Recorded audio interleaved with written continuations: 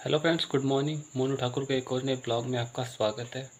चुकी है हमारी गर्मा गर्म चाय और आज है ब्रेकफास्ट में चने, वो भी प्याज के साथ।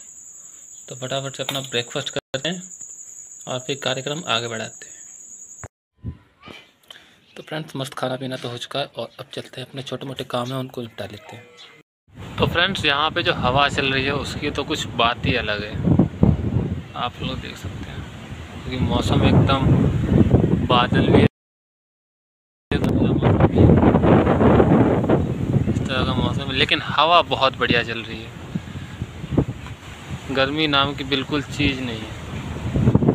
और अगर ऐसा मौसम रहा तो बारिश होने के चांसेस बहुत ज़्यादा हो जाते हैं।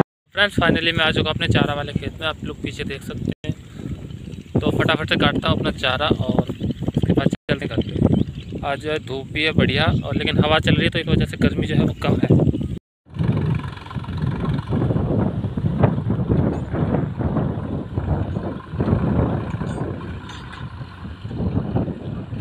तो फ्रेंड्स फाइनली हमारा चारा जो है वो कट चुका है। आप लोग देख सकते हैं, यहाँ पे मैंने जमा किया है, अब इसको लेके चलेंगे घर पे। और ये जो है हमारा दूसरा चारा तैयार होने लग गया है। आपको दिखाता हूँ। ये देखिए। और ये देखिए, ये जो है छोटा छोटा सा, ये हमारा नया चारा तैयार होने लगा है। तो अभी ये हमारा बड़ा बड़ा चारा जो है, ये इतना बचा हुआ है। तो पहले इसको काटेंगे, तब तक ये इधर वाला जो है, ये तैयार हो जाएगा। फ़िलहाल मैं इस ब्लॉग को करता हूँ एंड उम्मीद करता हूँ आप लोग को वीडियो पसंद आएगा। वीडियो पसंद आए, वीडियो को लाइक कर देना, चैनल पर पहली बार चैनल को सब्सक्राइब कर देना। मिलते हैं जल्दी नेक्स्ट ब्लॉग में। Thank you so much for watching